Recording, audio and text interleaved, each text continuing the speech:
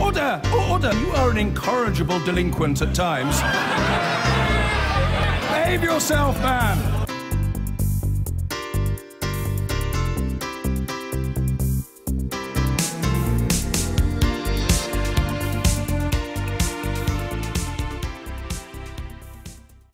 Lord Feldman, Andrew Feldman, is chairman of the Conservative Party. He's a close confidant of the Prime Minister and a man substantially responsible for upholding decent standards of behaviour among party activists.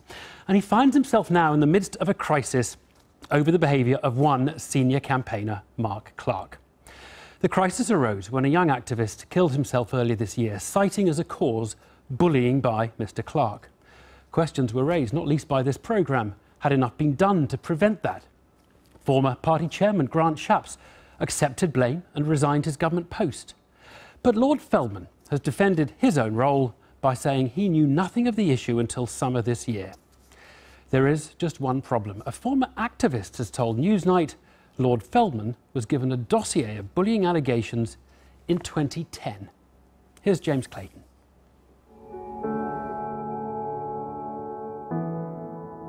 The Prime Minister's inner circle has been described as a charmocracy, David Cameron's propensity to surround himself with his closest allies. But of all these relationships, it's his friendship with this man that is one of the PM's closest. Lord Feldman is not only the Conservative Party chairman, but he's also David Cameron's former university tennis partner it perhaps explains why the party was comfortable to see Grant Shapps resign over the affair, but determined to protect Lord Feldman. Going to walk down here, I'll show you some of the hoardings and things like that, and then we're going to dive into the actual market and meet some market traders. But Feldman's career now hangs on how much he knew about disgraced activist Mark Clarke's alleged bullying and whether he acted with enough alacrity when complaints were first made. Mark Clarke denies all those allegations. The student vote is really important. We as students make up such a... Since the death of the young activist Elliott Johnson in September, there has been a stream of revelations about Feldman's handling of the affair. Last week, the party effectively acknowledged its internal investigation had been inadequate when it handed its inquiry to an external law firm. But the biggest threat to Lord Feldman's career may come from a statement his party made three weeks ago. A spokesman said that the party does not tolerate bullying or any other improper behaviour. Lord Feldman acted immediately to set up an internal disciplinary inquiry as soon as he received the allegations in August 2015, of which he was previously wholly unaware. Tonight, a former Conservative activist tells Newsnight that Lord Feldman was made aware of bullying long before August 2015. Patrick Sullivan has known Clarke since 2006. He says he's attempted to stop bullying in the youth wing of the Conservative Party called Conservative Future. He claims that he, along with Conservative MP Ben Howlett, compiled a dossier of complaints about bullying, a hard copy of which was handed into Feldman five years ago in 2010. Uh, I've known Ben Howlett for a number of years. Um, he won an election um, for Conservative Future Chairman uh, and was uh, subject to bullying during that election campaign and actually subsequently during his chairmanship. He has a strong anti-bullying stance in his campaign uh, because, as I said, there had been a culture of bullying. Uh, as soon as he is elected, um, myself, Ben, uh, helped compile a dossier, and uh, that dossier was uh, given by Ben to Lord Feldman and Sayeeda Warsi. But the dossier is not the only thing. There were complaints about Mark Clarke, which were given to Roger Pratt uh, in 2008. So complaints about Mark Clarke have been something that Conservative Central Office have known about for a very long time.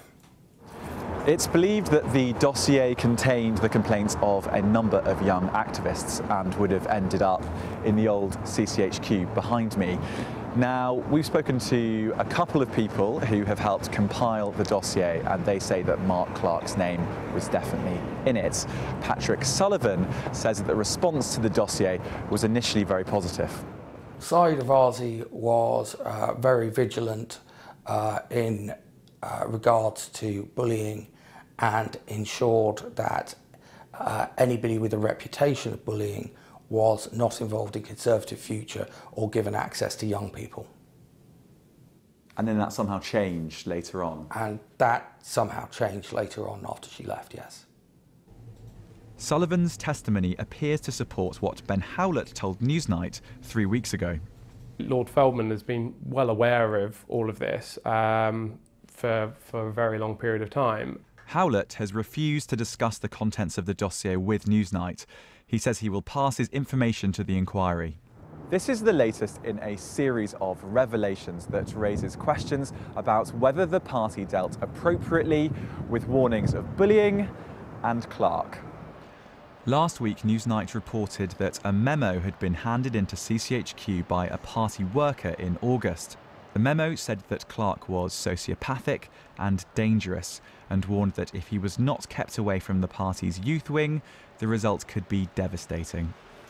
Lord Feldman ordered an internal investigation after seeing that memo. However, Clarke wasn't suspended by the party until after Elliott Johnson's death, a month later. I think it was quite shocking that Mark Clarke was able to uh, continue with his road trip 2020 whilst uh, this investigation was in process. Elliott Johnson's father, Ray, believes there needs to be more accountability at the top of the Conservative Party. I have no personal acts against Lord Feldman, but I fully believe that any, any head of an organisation take responsibilities for whatever happens within the organisation. And if Lord Feldman has been made aware some years ago of, of accusations of bullying, then he should, he should take responsibility and go. Lord Feldman continues to stress that he simply did not know about bullying or about Mark Clarke.